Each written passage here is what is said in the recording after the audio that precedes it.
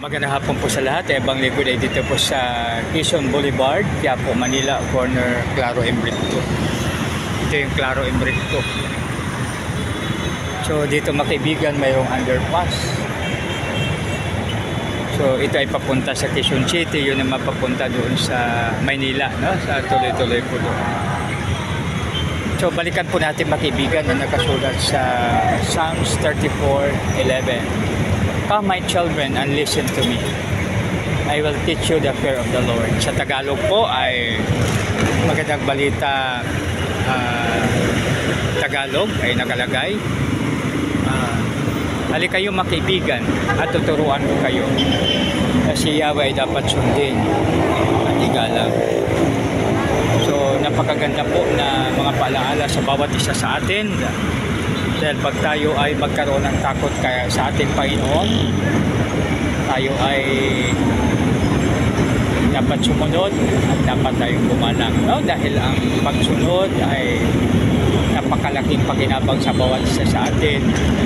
At ang paggalang ay isa ring napakaganda na ugali ng isang tao.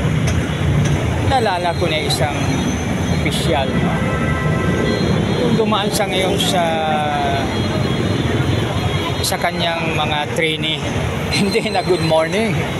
Alam mo ba pinarusahan niya? Kasi alam mo hindi gumalang. Kasi kampante yung mga trainee na ganun ganun pala ganun pala.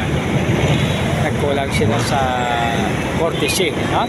ibig sabihin sa paggalang kaya advantage sa atin magkaibigan pa tayo ay dito makaibigan, pwede pala dumaan yung bike dito. Oh, mayroong nakabike.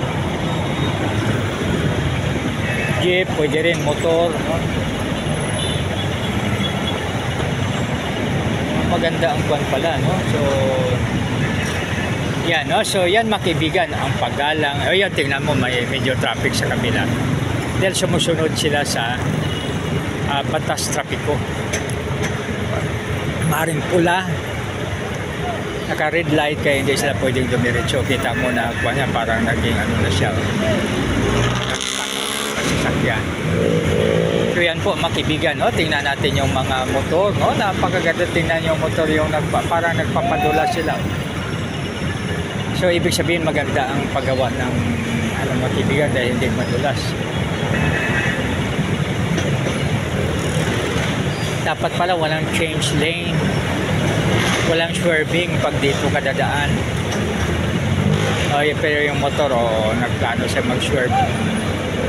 Ay hindi ay nag-signal siya pero hindi na gano'n ha? So kaya makibigan kahit nasa kalsada mayroong batas trapiko. May, mayroong tinatawag rules of the road batas pangkalsada yan ang pinapatupad ng LTO mga MMDA at saka yung mga ano pa no? so yun makibigan na kahit saan tayo, advantage sa atin pag tayo ay sumunod, advantage sa atin magalang, at ay may takot sa ating God Almighty. The fear of the Lord is the beginning of wisdom at magkaroon tayo ng wisdom makibigan. So ito po makibigan ang sa underpass. Dito naman tayo sa natural na ano, na, na daan. So makibigan, dito, hindi pwede na dumaan dito. Na, halimbawa, ako ay tatawid tulad sa ginawa ng baka exempted siya dahil siya ay maaaring siya ay senior citizen o exempted so napaka dangerous talaga so yan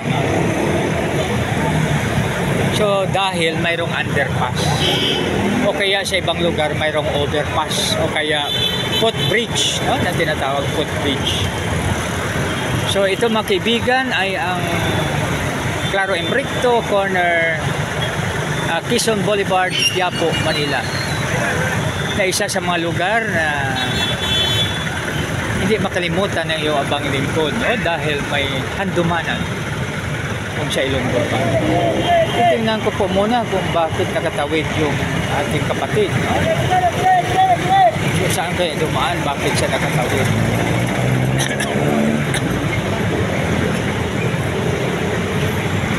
Kaya makibigan, magkaroon ako ng ibang daan. Oh, so, ano, saan ka? Ay! Pwede palang umakyat. nakita ko may, oh, yun, yun, yun, yun, umakyat, umakyat. Pwede palang umakyat. Kaya pala kasi nagtaka po ako kanina bakit siya naka, yan, yan. Danger talaga, danger.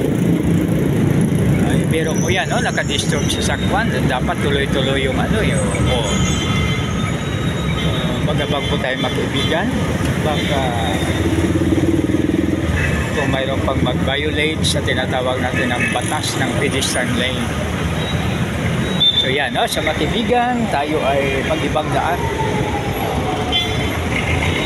Ito ay klaro en recto. So ito, mag-underpass ako.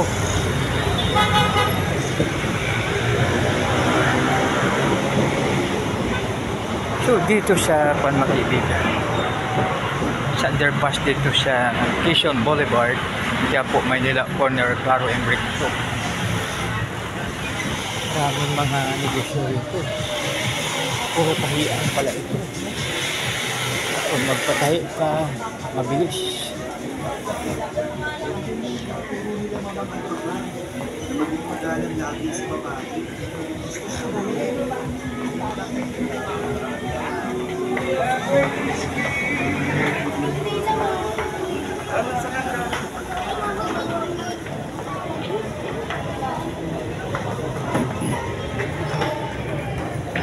So dito po mga kaibigan, no? ito ang underpass sa Quezon Boulevard, Quiapo, Manila, corner uh, Claro and.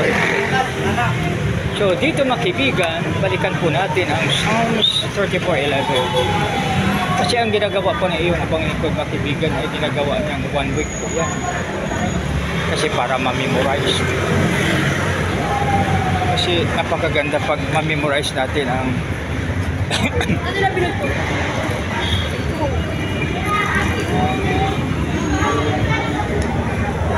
ma-memorize po natin ang good news. Dahil ang good news ay nagpapaganda sa ating pakiramdam. Isang magandang hapon sa lahat. God bless us all.